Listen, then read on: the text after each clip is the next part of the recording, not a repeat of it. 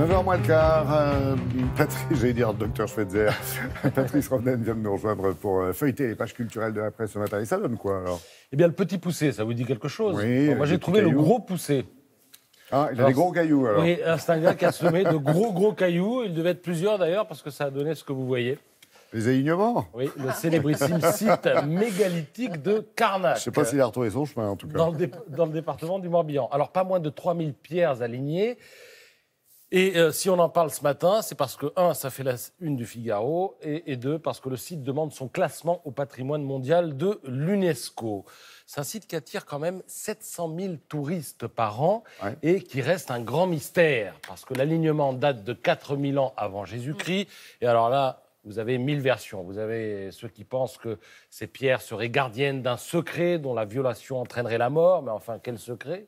Euh, Que ce seraient des païens qui auraient été ainsi changés en menhirs. Oui, qui jadis. été frappé d'alignement. Exactement. Ensuite, des pierres qui seraient tombées du ciel comme des météorites. Bon, voilà, il y a mille versions, des versions pullules. Mais ce sont des versions qui ne sont pas vraiment satisfaisantes. Et trois questions demeurent. Qui a fait ça?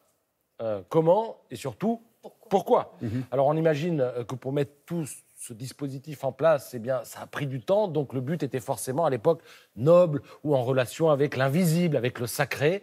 Et le paléontologue Yves Coppens, ce matin, s'exprime dans le. Figaro euh, pour dire que euh, le classement au patrimoine de l'UNESCO, euh, ça présenterait un avantage, tout simplement que ça exigerait et ça engendrerait euh, de nouvelles recherches. Après, il faudrait trouver les fonds, ça c'est encore un autre problème. Bon, Surpris, je suis surpris qu'il n'y soit pas hein, déjà inscrit parce que ce, ce site est Oui. tellement exceptionnel.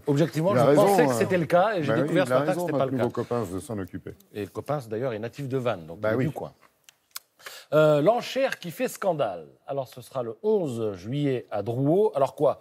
Un objet du 19e siècle. Alors, pas un tableau, pas une armoire en marqueterie, mais euh, la réponse, vous l'avez vu passer, vous allez la revoir, c'est une guillotine. Alors, le elle est présentée comme ça. hein. Guillotine armée de la République, milieu 19e siècle, trace de choc sur le tranchant du couperet. Point. Ça On va donne vie, hein. revoir le. D'accord.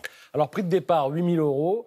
Euh, vous savez que le marché de l'art a, euh, c'est un peu comme à la bourse, c'est gendarme. Ça s'appelle le Conseil des ventes volontaires. Et ce conseil s'est prononcé contre cette vente. Reste à savoir s'il obtiendra gain de cause. Il considère que c'est une vente, entre guillemets, sensible. C'est-à-dire c'est la même chose avec les costumes de déportés ou avec les instruments de torture. Euh, je rappelle qu'en 2014, déjà, une guillotine en état de marche, je mets les guillemets, avait été proposée aux enchères à 40 000 euros et elle n'avait pas trouvé preneur.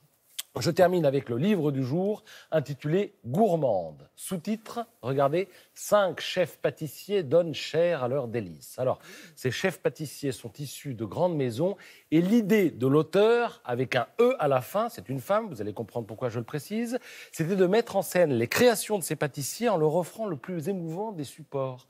La volupté d'un sein, le velouté d'un dos, la rondeur d'une cuisse ou la douceur d'un ventre. C'est-à-dire combien de semaines et demie c'était à consommer tout de suite. Alors l'auteur, eux, je le signale, signale Collange dit ce n'est pas le mariage de deux tentations, mais l'union de deux beautés. Les photos sont signées euh, à Aline Gérard. Et ce qu'on ne dit pas dans le livre, c'est euh, qui a consommé ensuite ces desserts et comment ça s'est passé.